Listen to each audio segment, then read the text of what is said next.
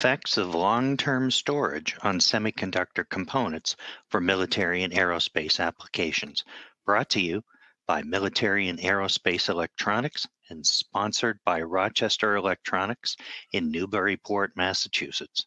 I'm John Keller, Chief Editor of Military and Aerospace Electronics.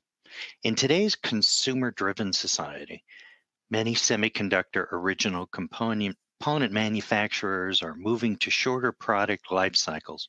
However, the military and aerospace industries may require equipment to be operational for decades, not just years, which makes continuity of supply uh, a significant challenge.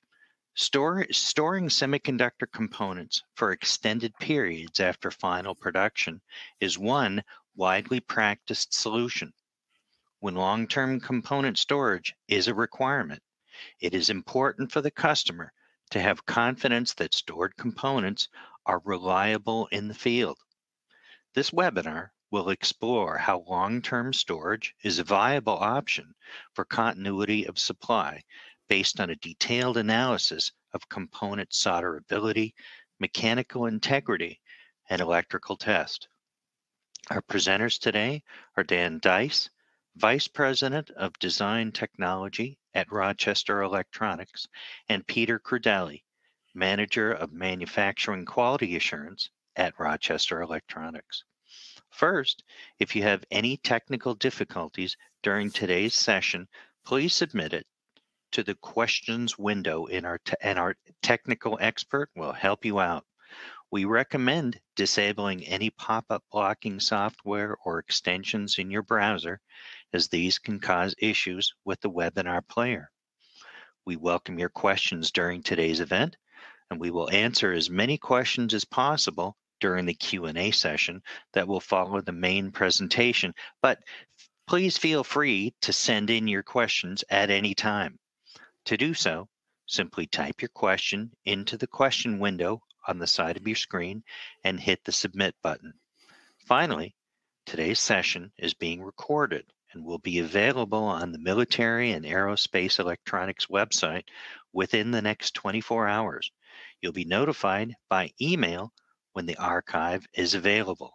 So let's get started with Dan Deisz, Vice President of Design Technology at Rochester Electronics. Dan? Thank you, John. I appreciate everyone taking the time out of their day to uh, join us today to talk about the uh, effects of long-term storage on semiconductor components. I want to give you a little bit of background first uh, on some of what Rochester has, what some of Rochester does, and, and lead that into Peter Crudelli, who will talk about the details of our analysis.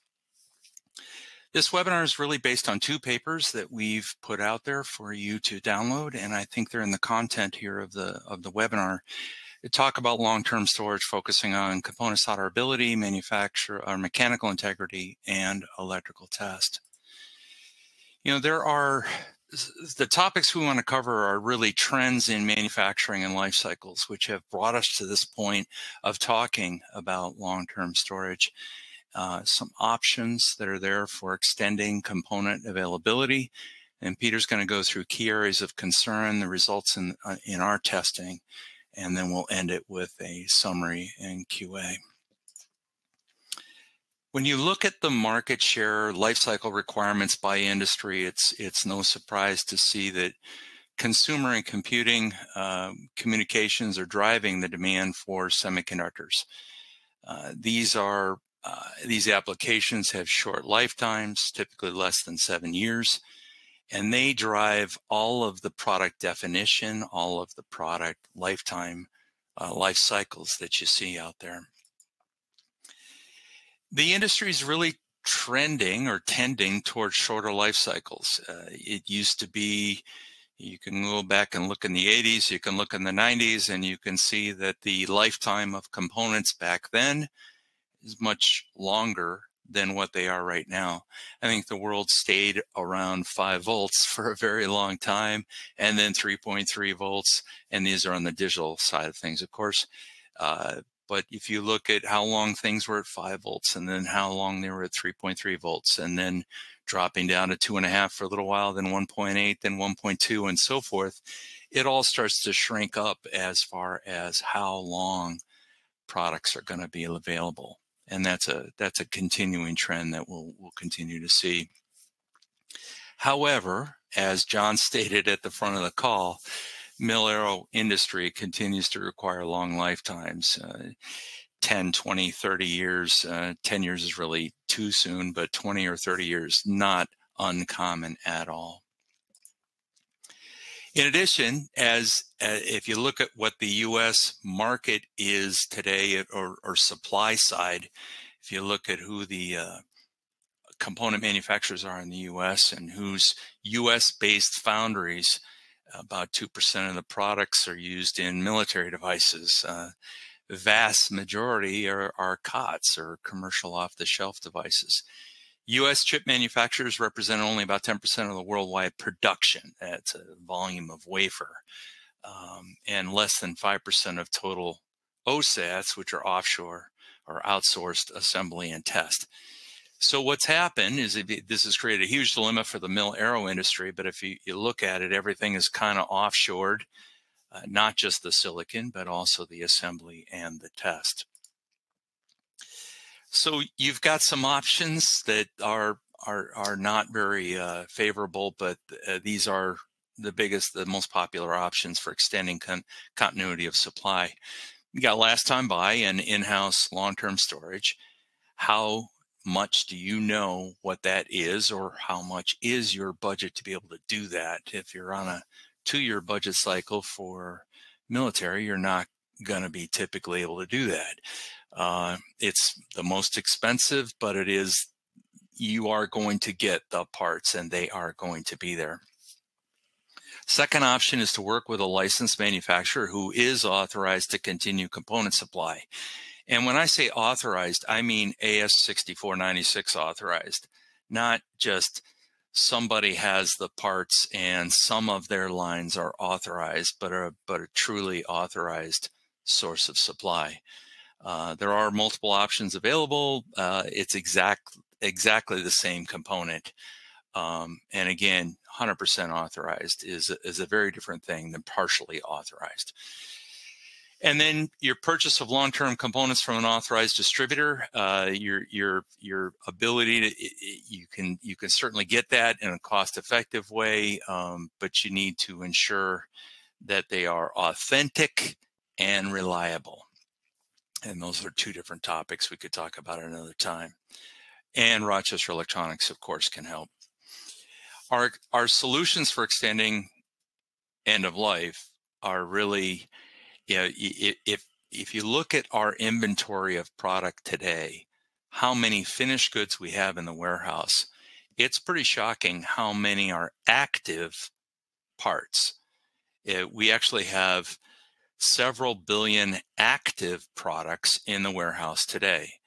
That's a surprise to some. Everyone thinks, oh, no, they're only carrying end of life. But no, we have active product in the warehouse. It's active past uh, what what uh, typically out of date code is what uh, what the popular uh, nomenclature is. But we're we're going to talk into that a lot further. So we're automotive certified now, uh, IATF 16949, and and that's quite something. That means your entire company has changed how we handle things, how we operate, and it also puts our our quality system on par with the best. We have multiple options for manufacturing or continue to manufacture product. We have a, a, place where we can start. Of course, we have the finished goods, but then we also have wafers that we have stored. We have uh, several billion die under storage. And then we have what my group does, and that's starting with design databases. And, and we have many successful uh, products that we've brought back to life uh, that is essentially fully authorized from the original manufacturer, take their database, move it to another fab, uh, and, and declare that the product is identical. And uh, there's a whole methodology around that. But that is another option for extending the life of a product. If you look at our manufacturing services that help extend the life, and that'll lead into what Peter's going to be talking about. There's there's design and product replication, which my group does. There's wafer processing and storage, assembly, test services, reliability, and, and IP archiving. Our design engineering teams are, are in Rockville, Maryland and Burnsville, Minnesota. We're, I'm blessed with about 350 years of experience in the group. Um, very, very uh, experienced group uh, team that um, focuses on making sure uh, uh our end products drop into customer systems, no change in software, and most of the time they don't have to change their boards either. There are a couple different options we choose here, replication being one of them. Uh, that's more or less a product clone. And again, everything I'm talking about here is fully authorized. This is with 100% authorized from the original manufacturer. So I'm not off cloning products without authorization from the original rights holder. So we have a long history of investment in hermetic assembly and and we're going to continue that uh, and we have continued that in plastic assembly. That's also another option for extending the life of a product. And if you take a look we've we've got all of these uh, products that are very famous in the in the military market for typically a higher temperature drives use of hermetic assemblies. And we've been doing this for uh, upwards of 10 years now for hermetic assembly. We also have wafer die storage services and, and, and really we have die ranging all the way from two inch wafer up to 12 inch wafer under storage. And, and again, that, that die has been under storage since 1968, so the oldest of it, and still reliable in real-time monitoring. And we make sure that it's still manufacturable as well. So with that, I'm going to turn it over to Peter Crudelli, who's going to get into the details of our study. Peter? Thank you, Dan. Um, my name is Peter Crudelli. I'm the Manufacturing Quality Manager here at Rochester Electronics. Uh, again, I'd like to thank each and every one of you for taking time out of your busy day to, to spend with us on this webinar. Today, we're going to be going over the most common concerns in regards to age components, starting with date codes, tin whiskers, oxidation, solderability, mechanical integrity, uh, followed by electrical performance. We'll be reviewing the work performed by my colleagues, as well as going over some guidelines on handling and various white papers uh, published by some of the other OCMs out there.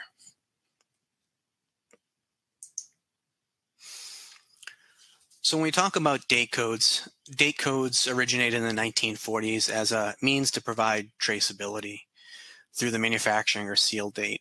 Uh, knowing the seal date provides the manufacturer the ability to, to go back and identify here was the process of record, here was the uh, bill of materials. Um, it provides that full backwards traceability.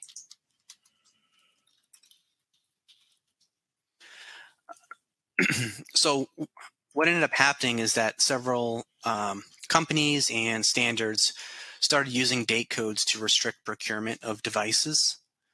Uh, MIL PRF 38535 is an example that had previously required components past a certain age to go through revalidation testing prior to use. The consensus is that the date codes aren't necessarily a good indicator of component quality uh, indications supporting this is that in 1995 there was updates to several of the the MIL specifications uh, to modify these restrictions on on date codes. MIL PRF 38535 now states that uh, components only need to be solderable per uh, test method 2003 of MIL standard 883 and MIL PRF 19500 has uh, a clause in it that actually says that acquisition documents should not restrict procurement based on date code. And it also requires parts to be solderable, uh, though to a different test method, uh, 2026 per MIL standard 750, uh, due to them being uh, discrete components.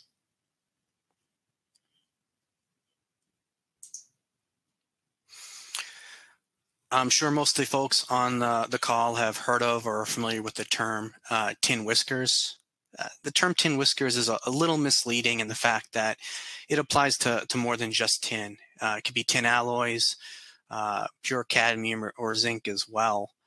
Uh, these can result in hair-like crystalline structures growing out of the grain boundary, and they can grow to several millimeters in length or longer. Uh, the, the risk here is they have the potential to cause shorts or additionally they could cause what is known as a, a, metal vapor arc. Basically, this is where the, the, the, metal heats to the point where it becomes ionized and provides a potential path for large amounts of current to flow into a de device, um, resulting in catastrophic damage. tin whiskers also grow unpredictably.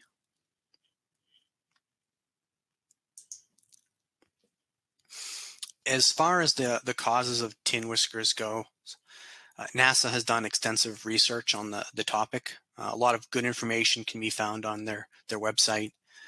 A couple of the conclusions that they've had is that a single accepted explanation for the mechanisms of tin whiskers has not been established, and that the growth rate is highly variable and likely to be determined by a complex relationship of factors.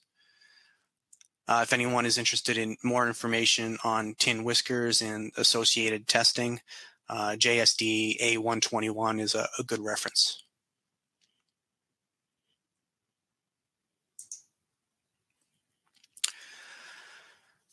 So what do you do if you have parts that you're concerned about tin whiskering? Well, one option is to perform solder dipping um, using uh, 6337 tin lead. Uh, Rochester Electronics does have this capability in-house.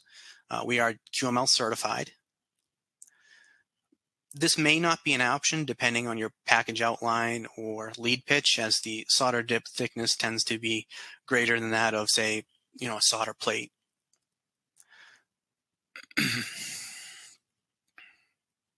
Another option is that we do have an extensive die bank, and if we were to manufacture components uh, for an end user, they could potentially select the, the lead finish that's utilized uh, based on availability.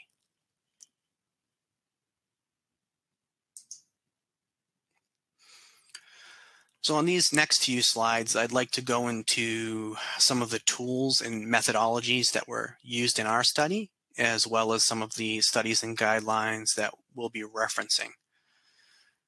Rochester does have in-house capability for soldering to dip and look and surface mount, as well as MSL characterization. We are DLA certified for MIL Standard 883 uh, 5004 screening and 5005 QCI. We also have the capability to test to an array of JEDEC specs as well as AEC-Q 100, which is primarily used by automotive customers. We're working on bringing IGA, or internal gas analysis, in-house this year. Having uh, all these tools at our disposal uh, allows us to provide a, a wide array of testing without needing to go outside. This helps us process material quickly and reduces overall cycle time.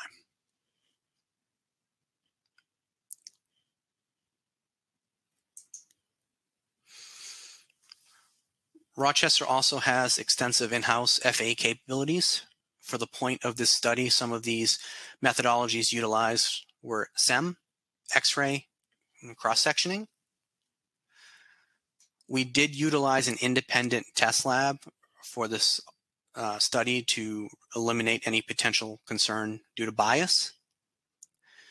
Should we ever use, uh, decide to evaluate um, MSL characterization, we do have in-house CSAM capability as well. A key item of note is that our design group, um, led by Dan Deisz, who was nice enough to run us through the, the history, uses these same tools in their recreation process and material evaluations.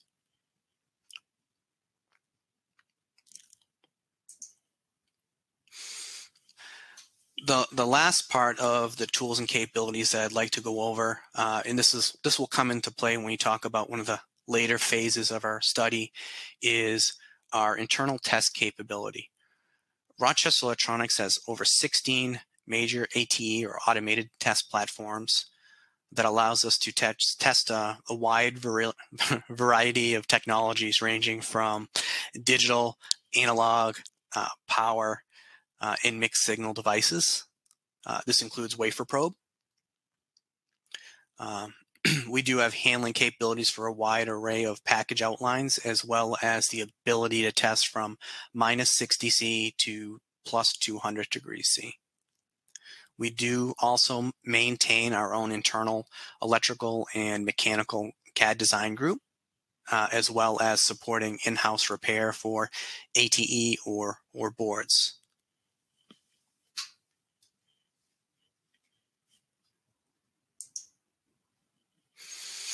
Now, onto our evaluation plan for the, the study and white papers that have been published. Uh, it, it really breaks down to, to three phases with the, the first phase looking at solderability. We populated a PCB with randomly selected aged components and inspected them to industry standard IPCA 610 criteria. The second phase involved mechanical integrity uh, with decapsulation, cross sections, uh, SEM analysis, followed by X-ray. And the, the last phase here, phase three, is looking at uh, electrical performance to datasheet limits. Uh, this image here is a, a, schematic of the, the board that we use for this study. Uh, we'll see a populated example shortly.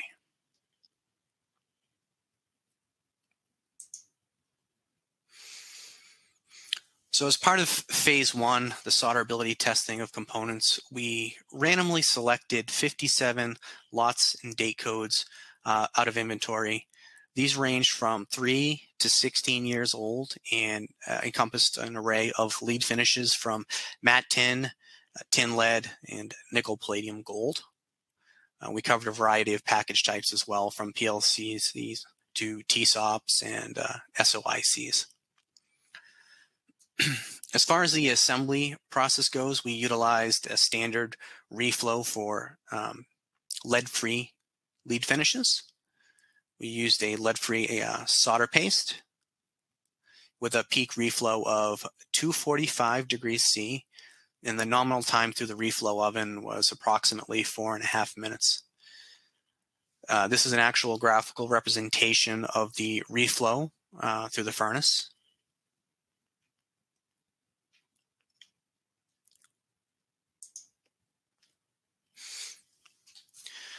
Looking at the solder joints uh, for some of these components, the, the first example we'll look at will be a 28 lead PLCC. This device has a matte tin lead finish. And in this SEM image on the left here, we see good wetting of the solder and good capillary action up the lead. This device passes IPCA 610 criteria as the, the wetting along the pad is greater than two times the lead width and up the heel is greater than the lead width plus solder thickness. The, the X-ray image on the right shows consistency along that edge of the package as far as the solder joint goes in wetting and capillary action up the lead. So the, the key takeaway to these images is that uh, any potential concern related to oxidation buildup um, has not diminished the ability of these components to solder. The, the, the key difference between our study and some of the other studies that you may have read is that a lot of those looked at solderability testing only, whereas we populated uh, an FR4 PCB board. FR4 being the most commonly used out in the industry, but the the thought process here was let's replicate a end use application, um, a real world application uh, for our, our end users here, as opposed to relying on just solderability testing alone.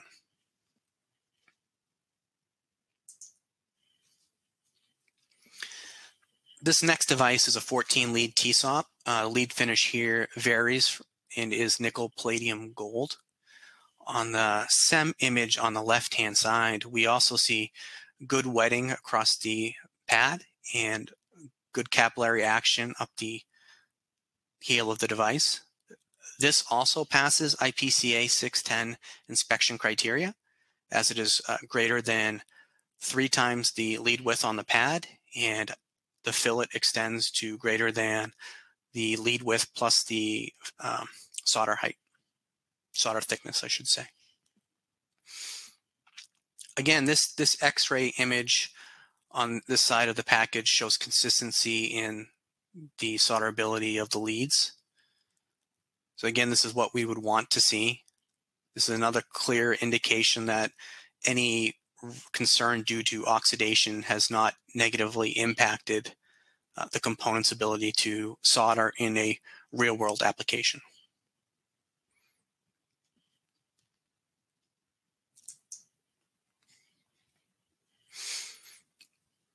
On this slide, we'll be reviewing the overall PCB results from the independent lab. Uh, you can see the populated board here that covers an array of package outlines, including from uh, PLCCs to SOICs and TSOPs, and uh, a wide array of other package types. Uh, these did all vary in lead finish from nickel, palladium, gold, and matte tin. The assessment from the independent lab was uh, looking at a 100% X-ray followed by 100% inspection to IPCA 610, followed by an automated optical inspection, and then finally a final board inspect. Their, their assessment was that there were no defects detected.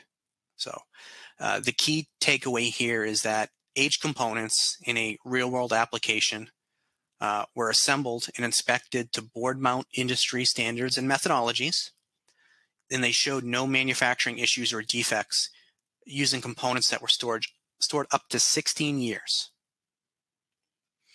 So any any concerns related to potential oxidation or age did not inhibit the ability of these parts to solder in a real world application.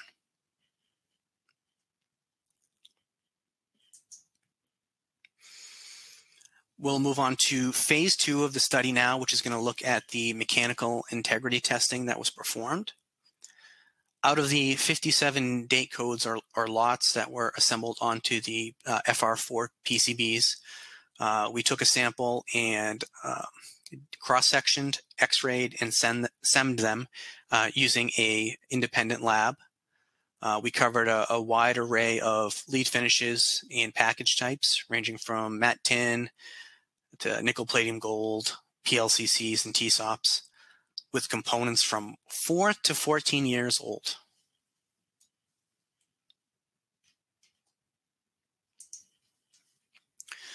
The first device we'll look at here is a uh, TSOP that has been cross-sectioned. The X-ray image on the right uh, shows the, the bond wires. And if you look at that closely, there is no indication of any damage to the bond wires or breakage or any sort of lifting off the pad. The, the SEM image on the right is uh, very revealing regarding the mechanical integrity.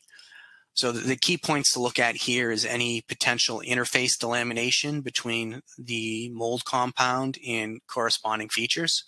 So when we look at the top of the die to the mold compound, the mold compound to the, the edge of the die attach fillet, or the bottom of the paddle, the lead frame itself, and even the bond wires, there is no indication of any sort of delamination. This indicates that the long-term storage of these components has not impacted the mechanical integrity of the devices. And this is after reflow, so any sort of thermal stresses due to the reflow process, if there was an issue, you would expect to see something here. Key takeaway is that no defects were observed using both X-ray and SEM imaging.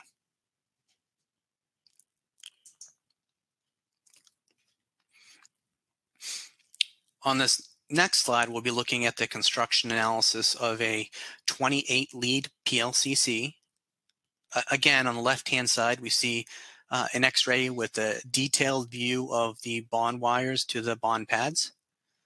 There is no indication of any sort of bond wire damage from the lead fingers to the bond pads. There is no indication that any of the bond wires are, are lifting. This SEM image is more of a close-up than the previous one we looked at, but we can clearly see the interfaces of the mold compound to the top of the die, the fillets of the die attach adhesive, the bottom of the paddle, and to the wires. There is no indication of any sort of delamination to, to any of these interfaces. Additionally, if we look at the, the ball bonds, there's no indication of any lifting, uh, cracking, or any other sort of delamination uh, on that interface as well.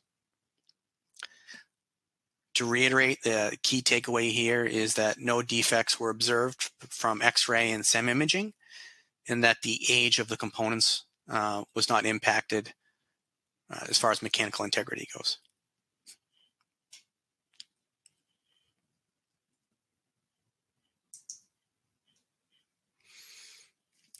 This slide is a post-encapsulation of a gold ball bond. On the image on the right, we can clearly see the, the gold wire and ball bond to the die pad. Uh, there is no indication of any sort of lifting, damage to bond wires, or any other sort of wire defects. The image on the right is a close-up of uh, a ball bond.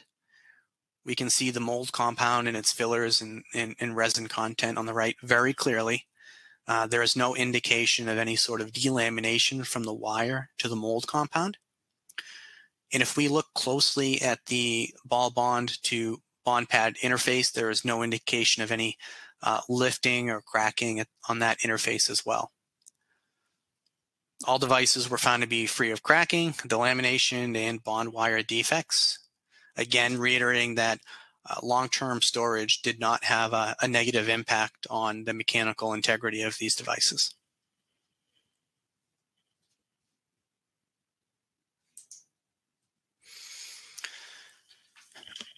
moving on to phase three of our study, uh, electrical testing. Um, th this is really where our study differs from a lot of the other ones that you may have, uh, you know, seen.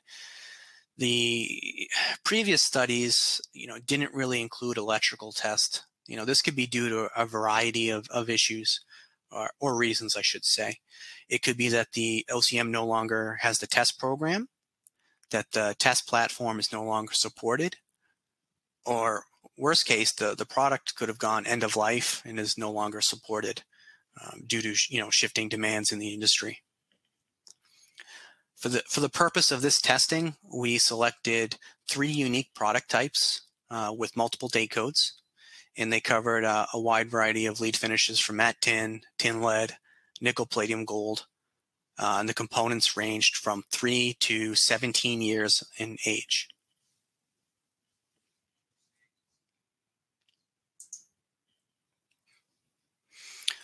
So for this electrical testing, the components we looked at were 8, 16, and 40 lead PDIPs uh, and covered a range of technology types ranging from a digital controller, a one-time programmable memory, and a linear voltage regulator. These devices were all tested to their respective datasheet limits and they all yielded 100%. This is a, a clear indication that for these components, long-term storage did not impact the ability of the components to meet their datasheet specifications, emphasizing stability.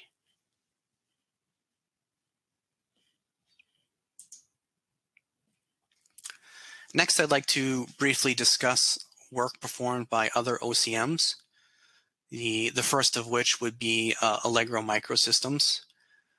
Uh, in their guidelines for handling, they took components that were stored at ambient conditions.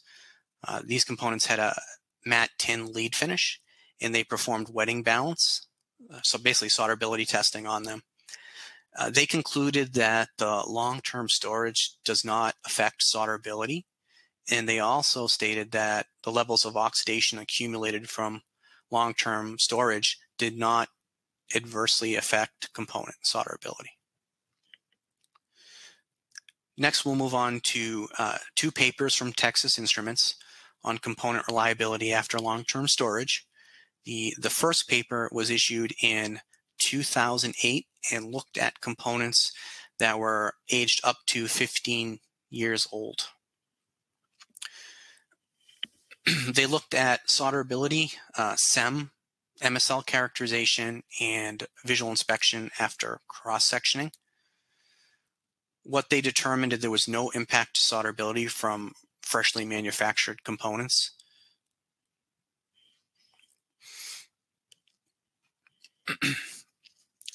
A follow-up paper in 2021 was also uh, published by Texas Instruments. In this paper, they expanded the variety of package types used, as well as the age of components that were up to 21 years old.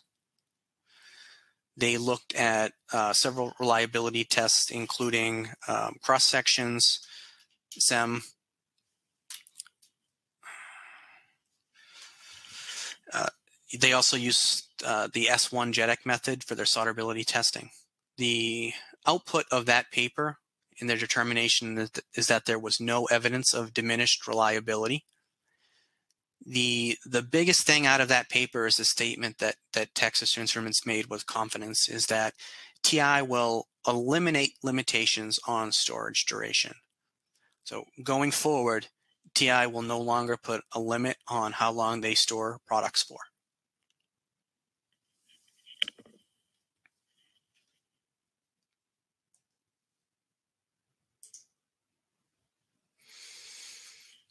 Next, I'd like to talk about some of our continued work and efforts uh, in terms of long storage. Right now, we're planning to expand the package style evaluation, uh, both in pin count and in larger package types. Uh, we plan to evaluate correlation to standard industry solderability predictors using both S1 and dip and look. And we also plan to expand electrical testing to include uh, additional package types um, and also evaluating functionality as a, a function of the reflow profile. So we plan on looking at baseline electricals, you know, simulating reflow of those devices, and then repeating uh, the electrical test at the, the end. Right now, we're targeting a white paper for September of 2023 with a, a webinar uh, to be followed in October. On, on that note, I will turn the presentation the back over to Dan Deisz and uh, thank you everyone for your time today. Thank you, Peter. I appreciate the, uh, the detailed analysis that you guys all did when you when you dug into that as far as uh, uh, people have concerns about long-term storage of product and we're not alone in that uh, saying that hey you know if if your if your contract manufacturer for your product has this date code limit um, you know if you can prove that you're within the authorized channel that you've got good storage methods uh, we don't see that the typical old date code concerns of two years three years five years whatever people are saying um, is has any data to back it up. Uh, we're generating data, more data all the time. TI is generating data. Allegro is generating data. There are those people generating data that say that those date code concerns that are anywhere from two to five years uh, are simply without data. Uh, you can, you know, buying a semiconductor product is not like going to a grocery store in the produce market and worried about whether something is old or not. Uh, it's just not the same thing. Purchasing from authorized distributors, AS6496, I have to emphasize that again, it's an effective option to mitigate against unknown handling and storage found outside the authorized channel. Um, there are those that go out and they'll buy back excess and they'll mix with stuff that they bought through the authorized channel and they'll claim that they're coming to market with a great solution that's authorized they're not 100% authorized. They're mixing and matching. They're taking pieces from outside the authorized channel. They're mixing it with authorized. That's not the same. You, that isn't the same storage. That's not the same thing as saying 100% authorized. And I want to emphasize that again. we already talked about the date code restrictions. They're just not a good indicator. In fact, I'll challenge anybody who talks about date codes being two years to five years as being without data. Uh, and, and that's what we're coming to market with right now. We're saying we have data. Data says, no, you, you don't have concerns. You can, you can be concerned about solderability. You can ask for additional solderability checks or tests or whatever all valid, fine, but the data we have says mm, not going to be an issue. Uh, we've conducted detail analysis. We say that it's good for up to 17 years, no issues or failures, and we're going to continue the study, and we're not alone in that. So with that, I, I thank you very much. I want to turn it over to um, uh, John Keller, who's going to hit us up with some of your questions. Okay, well, thank you, Dan and Peter. now it's time to take questions and comments from our online audience. As a reminder, you can ask questions at any time, excuse me, um, via the Ask a Question box in the presentation window. If we're unable to get to your questions during the webcast, um, we'll do our best to reach out to you afterwards. So um, our first question uh, is from our friends at IBM Canada, and that is were all components tested to MSL1? And if not, did they need any moisture bakeout process before card attach? I think that question is for Peter, but um, uh, I'm going to assume that many of the technical questions are for Peter, but Dan, please go ahead and chime in on any question. No problem. Uh, no, thank you. No, so that's a great question. Um, you know, based on the the pin count of the devices, um, it'd be safe to assume that a lot of these were were MSL3. Um, I don't have that information readily available. Um, I'll, I'll, look at our notes here internally, but I'm sure that the the subcontractor that we utilized, uh, you know, did their standard checks in accordance with J Standard 33, looking at the uh, humidity indicator card. Uh, which would give an indication as to whether a bakeout was required. Um, so, you know, recommendation is always going to be there to, to follow the industry standards as far as when a bake is required and when it's not. Um, so, you know, per MSL 1, it would not require a bake per that standard, but. Okay. Uh, question from uh, the Air Force Research Lab. Uh, does transfer from design archive OCM intellectual property remain workable when targeted processes are obsolete? Yeah, I'll take that. Okay, good question. Though you know, and and uh, you know, sometimes the the answer is uh, no, that doesn't work out. Um, however, let's let's jump back, take a look at one of the one of the designs we uh, are in the middle of qual right now, but it was a I'm going to call it a success because it works in the customer system and it passes the uh, the original test program. It was the MC6800. If you can imagine the MC6800, uh, if you got gray hair like me um, and, and attended college in the 80s, uh, that might have been a lab board that you worked on was the 6800. Uh, the product was initially introduced in 1978. And we were able to create, in that case, it was a form fit function drop in replacement, still in a 40 pin dip, just like the original product. But we tuned the IO edge rates to match precisely. In fact, we kept it NMOS.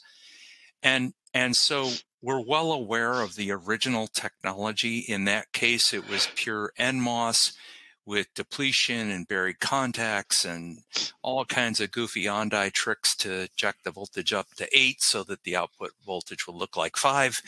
And, and we're well aware of all these tricks. And, and in that case, we created a form fit function drop in that still is five volts that the customer can still use their board from the 80s and drop in. So in some cases, we can overcome those challenges. And in some cases, we absolutely cannot.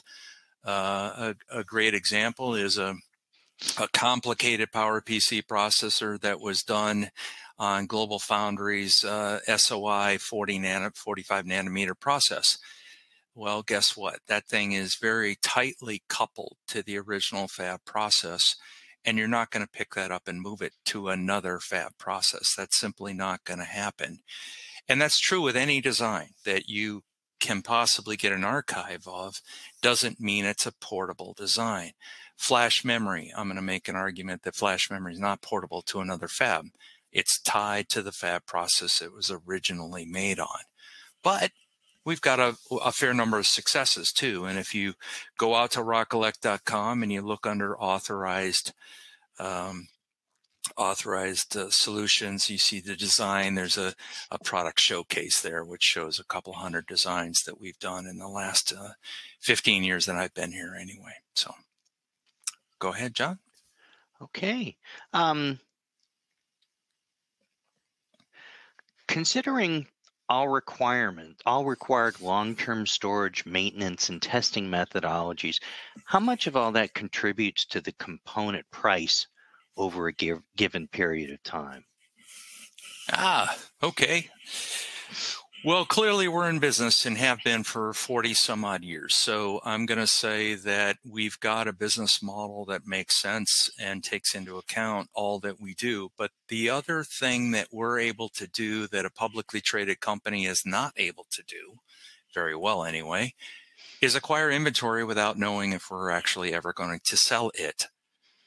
And if you're a publicly traded company and you acquire inventory and you don't know if you're going to sell it, you get hammered. Uh, where a private company like Rochester Electronics, we're able to do these uh, speculative um, inventory accumulations and and account for it in our business model. So we account for all of that. We we are continuing to be in business. We're continuing to grow. So something must be working uh, for that to be the case. But yes, we account for all of that.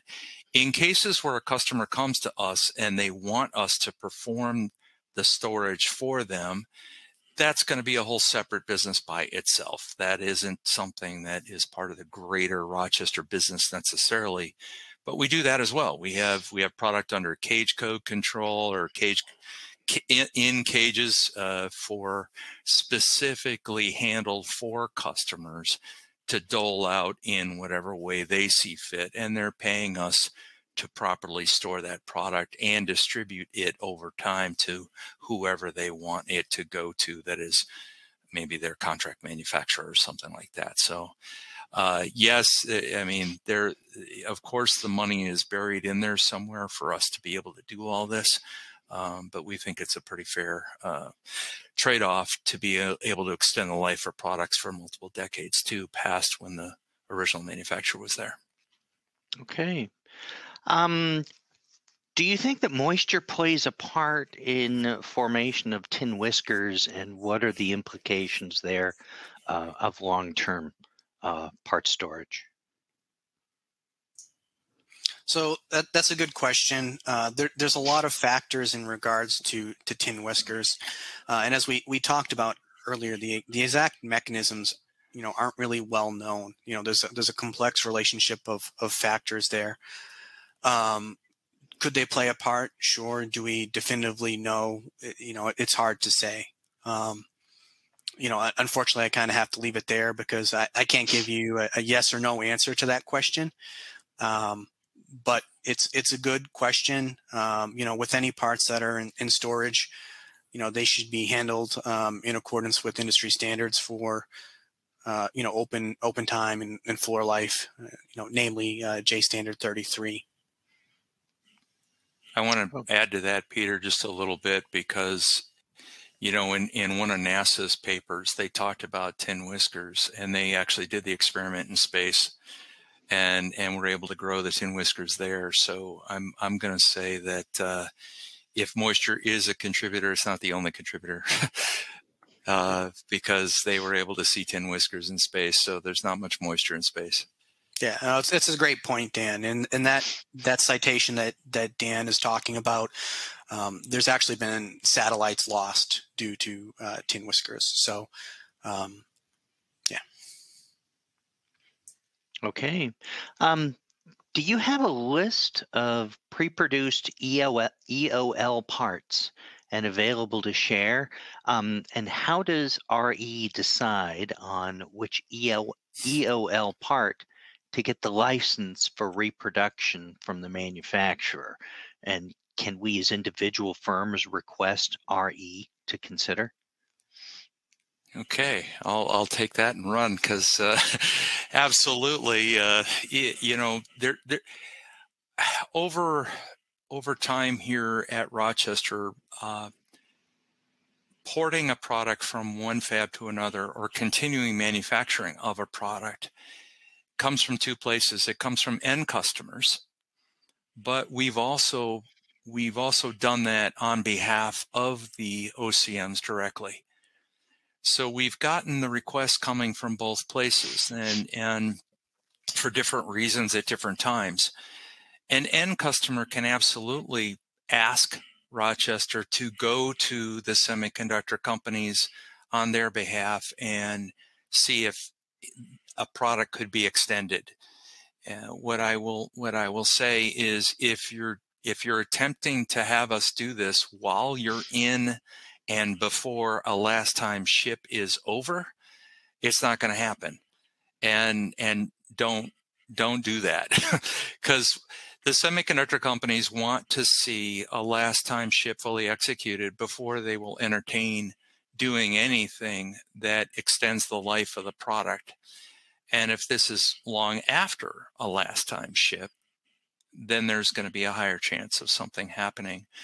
But we we react to customer demand we react to multiple customer demands. So when we see a common thread amongst multiple customers of course we're going to do what we can to try to extend the life uh, but we also we also work directly with the semiconductor companies.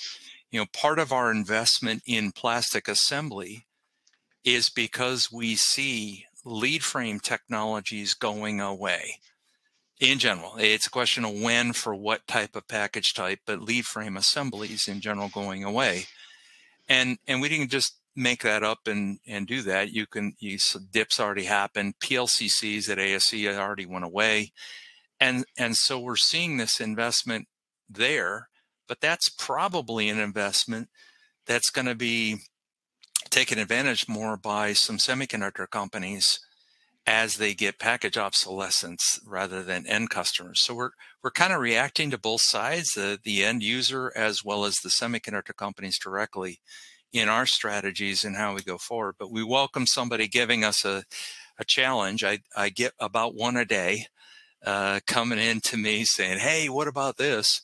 Uh, today's, just for the record, it was the Intel 8085. Uh, I was asked that today. So it, but, but I've been asked lots of more recent products than that. That's just today's example. So, okay. Um, for which lithographies does Rochester typically provide design porting? Hmm. Driven totally by what the product is. So I, I, I can say that it, it, it depends. Uh, I, I, have a guy in my, uh, in my team that always says that it depends. Uh, so I'm going to say that look where product obsolescence is happening today. And that is where we get asked to provide porting services. So it's not going to be on the bleeding edge. It's not going to be in anything FinFET. It's going to be all in planar technologies. And then it's going to be a mix of um, bipolar as well as as CMOS for digital, so analog as well as um, digital things that are portable. Uh, uh, RF not portable, flash not portable, those kind of things not portable. Uh, but anything that's uh, digital or analog may be portable. And um, I'm going to say typically down to today, probably 130 nanometer is about where we are, edging into 90 um, because that's where obsolescence is. Um, and then the old stuff too that we we always get. But I'd say the leading edge of the trailing edge is about 90 nanometer for obsolescence. Okay. Um, question here. Um, did not see uh, treatment of long-term storage of MEMS devices. Do you have any input regarding long-term storage of uh, MEMS? I believe that means microelectro electromechanical systems. So uh, MEMS devices haven't hasn't been included in any of our uh, research so far or studies so far. Uh, we could take that into consideration, uh, you know, going forward, but we we don't have any data on that at this point in time. I would actually add to that that I, I don't know that MEMS even uh, hits the timeline of obsolescence yet that people um, maybe they're worried about storage, but I don't know that it really hits what we were targeting. And that was kind of the same place TI was going. And that was 15 year, 20 year type of time frame. What are we looking at? And how many MEMS are really that old right now? Not too many. Uh, they really came in in the last uh, decade. Okay. Um, does Rochester Electronics also provide hybrid assembly solutions? That's a good question. Thank you. Uh, yes, uh, currently uh, we are maturing a uh, mature hybrid design from the, the 70s. Uh, it's comprised of a um, logic die with multiple transistors. Uh, we evaluate future hybrid work on a case-by-case -case basis, but we do have the capability to perform assembly in-house for that, um, including uh, you know, using a mix of eutectic and uh, adhesive attach with uh, substrates, uh, etc. So. Okay. Um, is the recommendation to store the components not incorporated into boards for long-term storage, or are the findings similar if components are stored on boards?